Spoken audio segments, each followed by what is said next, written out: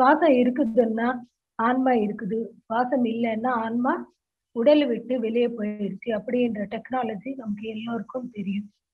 ஆனா சுவாசத்துக்கு மைண்டுக்கு இருக்கிற தொடர்பு தான் மகாங்கள் கண்டுபிடிச்சிருக்கிறாங்க. புத்தரும் அதே தான் கண்டுபிடிச்சிருக்கிறாரு. சுவாசத்தை பிடிச்சிட்டோம்னா மனம் நம்மளுடைய கண்ட்ரோலுக்கு வரும். ஃபேன் இருக்குது அதை ஆஃப் பண்ணணும்னா அங்கே முடியாது. சுவிட்ச் ஆஃப் பண்ணாதான் ஃபேன் ஆஃப் ஆகும்.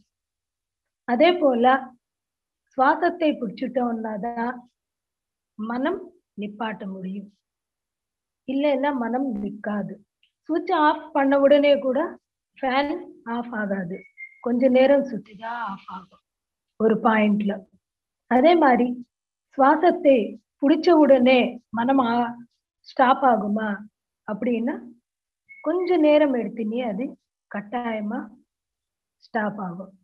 நில்லுடும் டென்சிட்டி குறைஞ்சு குறைஞ்சு எண்ணங்களுடைய டென்சிட்டி குறைஞ்சு மனம் வந்து நிற்கும். இதுதான் நம்மளுக்கு புத்தர் சொல்லி கொடுத்தது.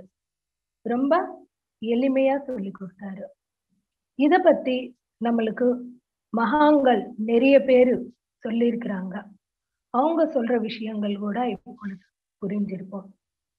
ஒருமையுள் ஆமை போல் ஐந்தடக்கல் ஆற்றின் எளிமையும் ஏமா புடைத்தும். இந்த உறுப்புகளை கண்ட்ரோல்ல வச்சா நம்மளுக்கு ஆயில் ஜாஸ்த் ஆகும் அப்படின்னு சொல்லிட்டு திருக்குறளில் திருவள்ளுவர் கூறியுள்ளார்.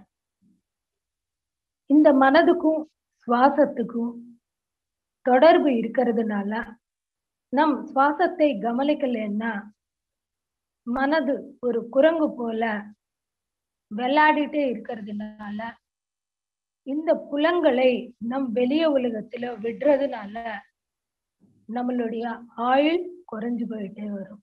இங்க பாத்தீங்கன்னா ஆமை வந்து தன்னுடைய புலங்களை உள்ள வைப்பதால மனம் வேலை செய்யாது சுவாசம் குறையும். அதனுடைய ஆயுள் பார்த்தீங்கன்னா கிட்டத்தட்ட ஐநூறு வருடங்கள் இருக்குது.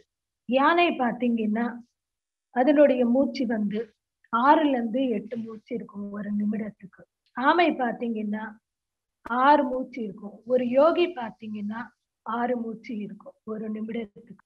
ஒரு யோகி கூட பார்த்தீங்கன்னா முந்நூறு வருஷம் ஈஸியா வாழ்றாங்க.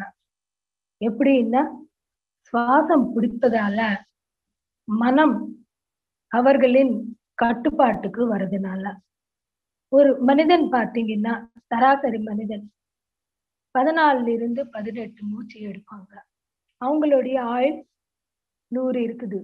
இன்னும் அதிகமா நம்ம மூச்சு எடுத்துட்டே வந்துட்டோம்னா நம்மளுடைய ஆயுள் குறையும்.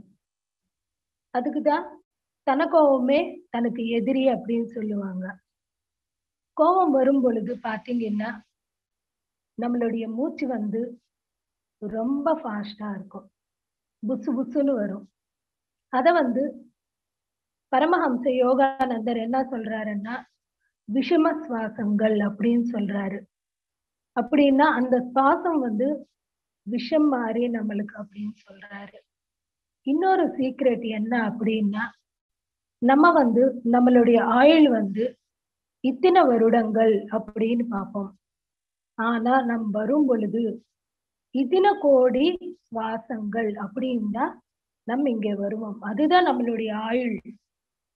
அதனால எப்போ நம்ம வந்து தியானம் செய்யறோமோ சுவாசத்தை கவனிக்கிறோமோ நம்மளுடைய சுவாசம் குறைஞ்சு குறைஞ்சி குறுநடுவில் சேர்ந்தி சுவாசம் கம்மி ஆகுதோ சுவாசம் இல்லாத நிலை எண்ணமற்ற நிலை வருவோமோ நம்மளுடைய ஆயுள் பெருகிட்டே போகும். இதுதான் மகாங்கள் வந்து நம்மளுக்கு காட்டின டெக்னாலஜி ருஷிகள் யோகிகள் அவர்கள் எல்லாருமே